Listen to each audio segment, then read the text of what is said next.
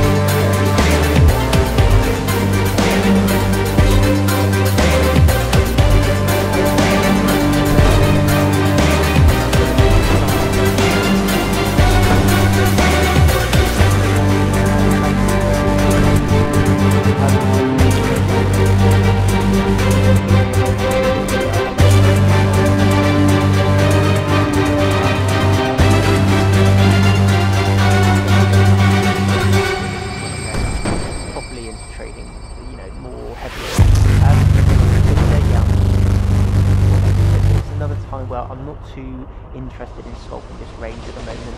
Um, I, that's something that I would keep my eye on if I was looking at trading, okay? Uh, and in, in terms of support, I mean, yeah, you have to look again